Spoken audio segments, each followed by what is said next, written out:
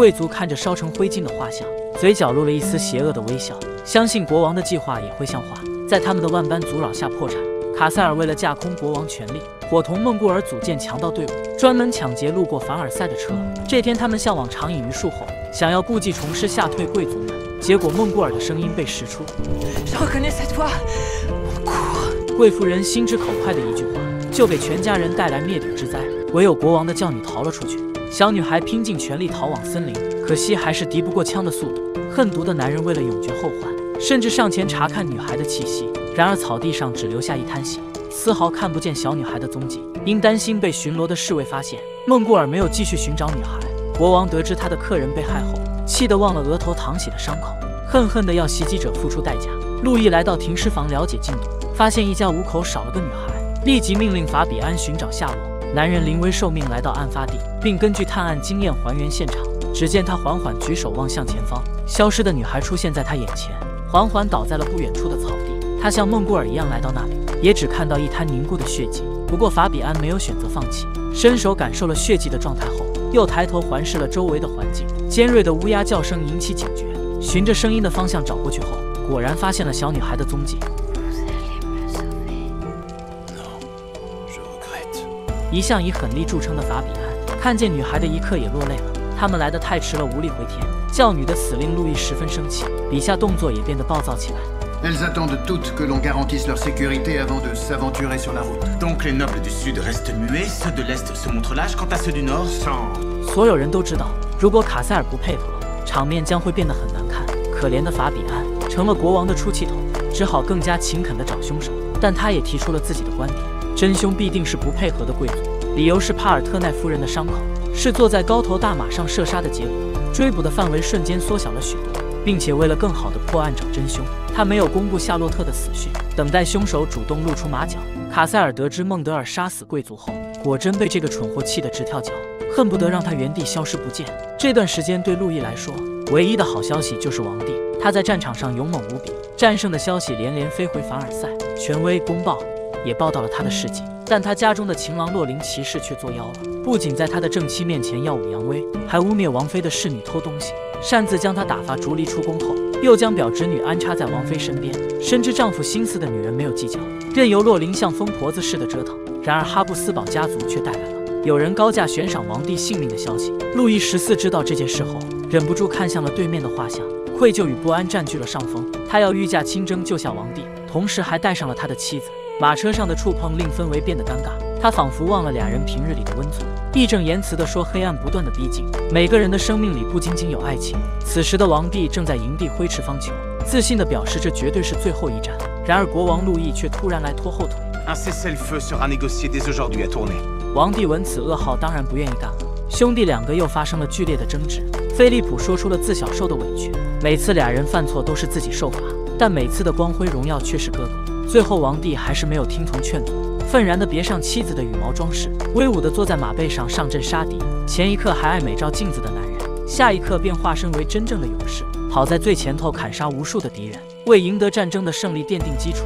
付出了极其惨痛的代价后，路易十四在本国的营地中，敌方代表和他签了战败书。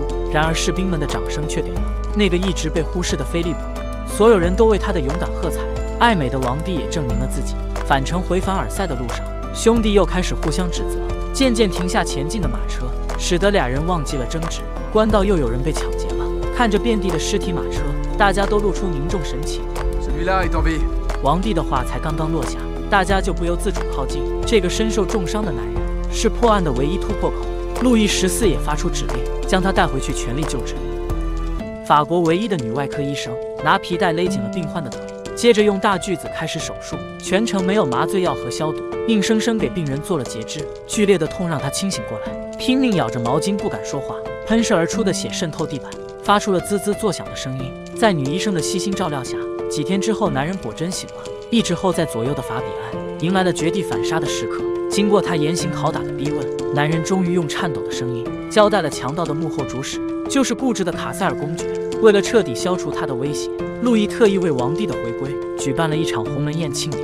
有人担心他会孤立无援，如果公爵坚持不来的话，那么北方的其他贵族们作为簇拥者肯定也不来。路易却无比肯定地表示，卡塞尔公爵会来赴约的，因为他早就做好了安排。这是王后给路易的灵感。想明白他话里的深意后，路易找了爱慕他的夫人，请求他搭上过去的情分，帮他说服公爵参加宴会。蒙夫人因为年少的遭遇，对卡塞尔充满了抗拒的情绪，但她更无法拒绝路易的恳求，二话不说就答应了他的国王。同时，他也提出了自己的要求，他必须带上年轻貌美的索菲。当事人索菲正和妈妈在吵架，他才知道了自己的真实身份。他和妈妈根本就不是真贵族，他的父亲甚至是一名新教徒，母亲潜伏宫中也有别的目的。伤心的索菲走在上班的路上，就被不对付的蒙夫人截胡了。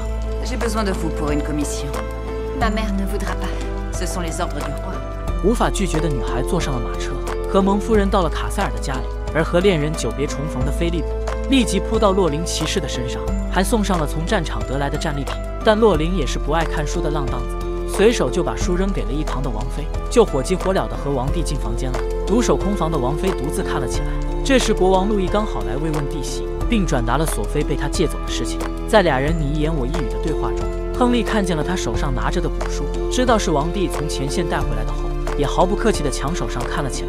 在翻阅的过程中，男人突然发现书上那些奇怪的涂鸦非常眼熟，立即警惕地询问了书籍的来源，得知是从尼德兰教堂拿的之后，他立即召集了邦当法比安等人，认真比对他是否与密码信一致，成功破译了间谍们的传信代码，也知道了刺杀计划的幕后主使，此人无疑是奥兰治的威廉三世。另外一边的蒙夫人也不辱使命，看着男人对索菲色迷离的眼神，立即示意女孩对他使用美人计，并承诺索菲会全程陪着他赴宴。心满意足的男人果真放松警惕，松口答应前往凡尔赛参加宴会。当他挽着女孩的手抵达王宫后，蒙夫人立即翻脸把女孩带走了。骑虎难下的公爵只好拜见国王，但路易已经知道他背后的作为，伸出来的手故意放得很低很低，使得卡塞尔不得不弯腰吻手背。Inclinez-vous devant votre roi.